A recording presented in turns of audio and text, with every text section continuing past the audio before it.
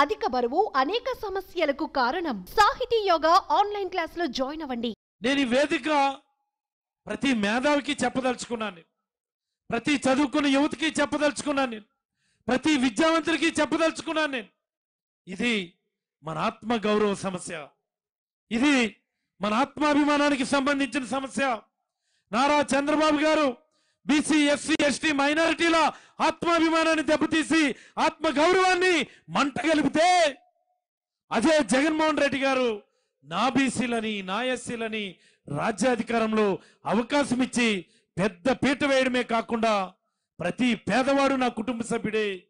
ఏ పేదవాడు కూడా ఎవరి దగ్గర చెయ్యి చాచకూడదని ఎవరి దగ్గర కూడా తల వంచకూడదని ఎవరి దగ్గర కూడా తన ఆత్మాభిమానాన్ని తాకట్టు పెట్టకూడదని ఈరోజు ప్రతి పేదవాడి ఖాతాలో నేరుగా బటన్ నొక్కి వాళ్ళ ఖాతాలో వాళ్ళకు అవసరమైనటువంటి ప్రతి పథకాన్ని కూడా జమ చేస్తున్నటువంటి చరిత్ర మనది.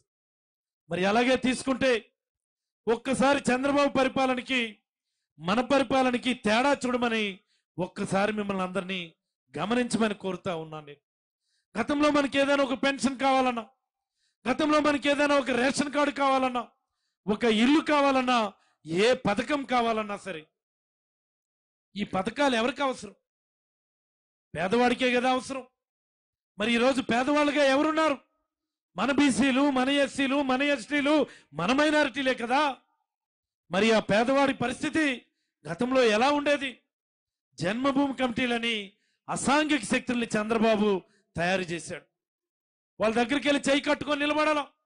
వాళ్ళ చేతిలో లంచం పెట్టాలా? వాళ్ళ దగ్గర తలదించుకోవాలా వాళ్ళ ఇంటి పైన తెలుగుదేశం పార్టీ జెండా కట్టాలా? ఇన్ని చేస్తే తప్ప ఏ పథకానికి నోచుకోనటువంటి ఆ పరిపాలనకి మరి అదే నేడు మన ఇంటికే వచ్చి మన తలుపు తట్టి ఒకటో తేదీ వస్తే చాలు. సూర్యుడు ఉదయించక ముందు కోడి కూయక ముందు మన వాలంటీరు మన ఇంటికొచ్చి మన తలుపు తట్టి మన చేతిలో సంక్షేమ పథకాలు పెట్టిస్తున్నటువంటి ఘనత మన జగన్మోహన్ రెడ్డి గారిది. ఇదే కదా సాధికారత అంటే? ఇదే కదా సామాజిక చైతన్యం అంటే? ఇదే కదా సామాజిక సాధికారత అంటే? అని ఈ సందర్భంగా మీకు అందరికీ మనవి చేస్తా ఉన్నాం.